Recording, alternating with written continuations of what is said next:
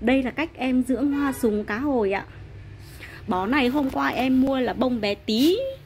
Nụ cũng bé lắm. Họ họ bọc trong cái này này.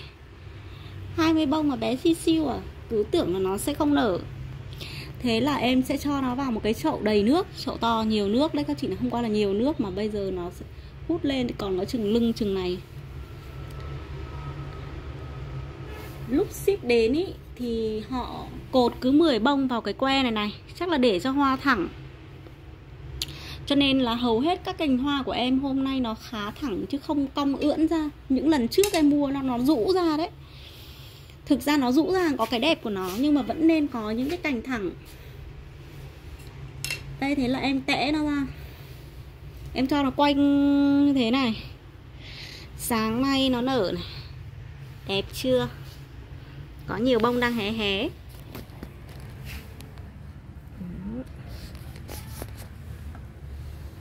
Đây, rất xinh.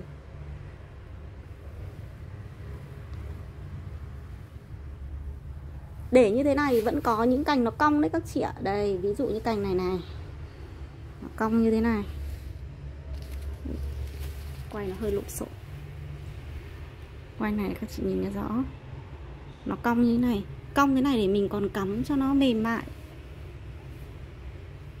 Đây này, vẫn có một bông không nở, không sao. Thế này là may lắm rồi. Cái không qua nụ nó bé tí thế này.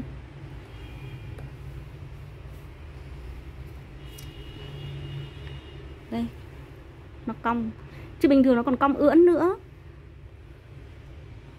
Nếu như muốn cong ưỡn nữa mà trong trường hợp hoa của mình nó thẳng mà mình muốn cong ưỡn ấy, thì các chị uốn nó lại một chút xong lấy cái dây, cột hai cái đầu lại.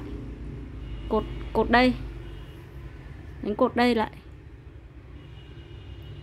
Để cho nó cong. Đây, ví dụ như đây, mình mình sẽ cho nó cong xuống thế này. Đấy. Thế mình cột nó lại. Để qua đêm thì nó sẽ cong theo ý của mình. Còn muốn thẳng, đấy.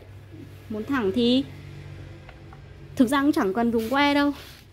Nhưng mà thì dùng que tiện hơn muốn thẳng thì cứ thế này. Túng nó lại.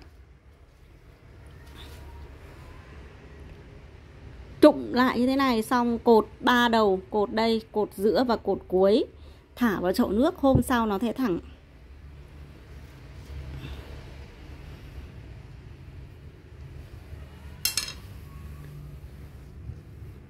Cái hoa súng này, ba, nó như hoa sen ý các chị ạ buổi sáng nó sẽ nở. Nở rất đẹp. Chỗ các, chỗ có nhiều ánh nắng lại càng đẹp nữa. Đây nhà em, sáng nay không có nắng.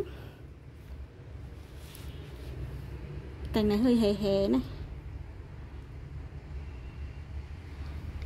Đến tầm 2 giờ nó bắt đầu cụp vào. Và chiều thì, chiều tối nó sẽ cụp vào hẳn.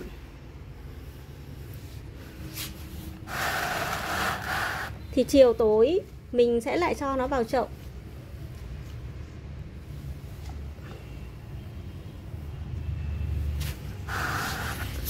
Mình lại cho nó vào chậu, cong cong thẳng thẳng thì tùy mình chỉnh